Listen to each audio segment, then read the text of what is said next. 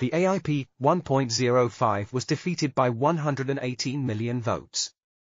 The proposal was introduced after the Arbitrum Foundation transferred funds without community approval. A controversial proposal seeking the return of 700 million ARB governance tokens to Arbitrum's DAO treasury was rejected by a massive number of votes on April 15.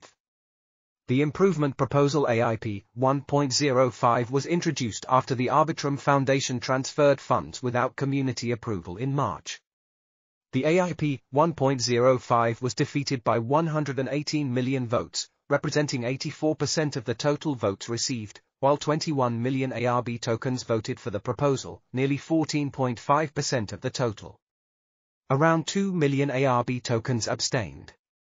The proposal asked the Foundation to return the tokens as a symbolic gesture to demonstrate that the governance holders ultimately control the DAO, not the Arbitrum service provider nor the Foundation.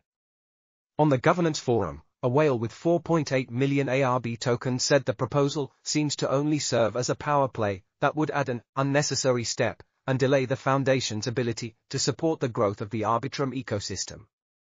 Another whale voting against the proposal with 18 million ARB tokens stated that balance is necessary to promote decentralization and progress in the ecosystem. There is a balance that we need to try to accomplish between advocating for decentralization and preventing progress in the ecosystem. I believe that decentralization on its ideal form is nowhere to be seen in this industry yet. Arbitrum's community and its foundation are engaged in a dispute over the foundation's governance proposal AIP-1 which called for investment of nearly $1 billion worth of ARB tokens to fund its operations. After facing community backlash, the foundation later said that AIP-1 was a ratification, not a proposal. It added that some of the tokens were already sold for stable coins.